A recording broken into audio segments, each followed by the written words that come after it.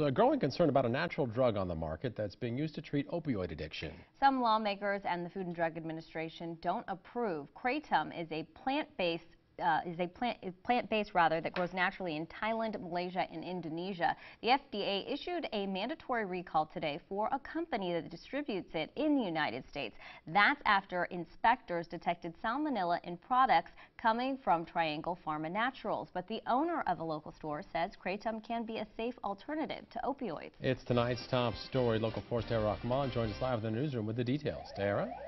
Jim, Tiffany, right now, Kratom is legal in both Illinois and Iowa for people 18 and up. But an Illinois lawmaker has introduced a bill to ban the product, and one local seller says that could prove to be a deadly move.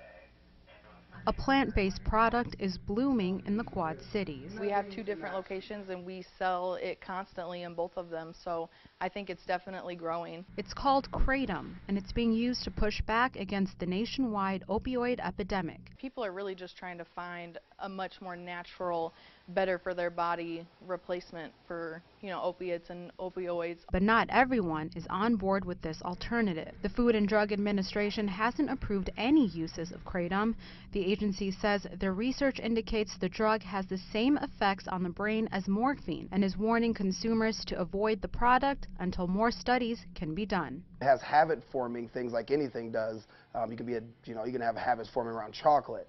Um, but the fact of where, again, the, the, it's a safer and healthier alternative. Jacob Jensen stocks Kratom at his Cloud9 shops in Moline and Davenport. He started off selling nearly 5,000 capsules each month.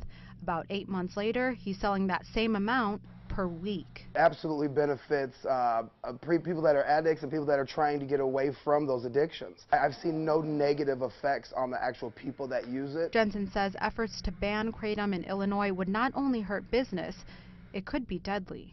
The last five years, over 200,000 deaths are attributed to opioid use, to where in that same period of time we have only 44 deaths worldwide attributed to kratom. That should concern the community. If we have a healthy alternative, to this uh, you know, epidemic, and the government wants to take that off the market to continue to give things that have been proven to cause deaths every single day.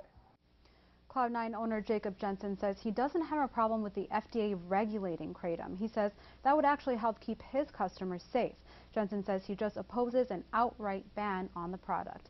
In the newsroom, Tahera Rahman, Local 4 News. Tahera, thank you. And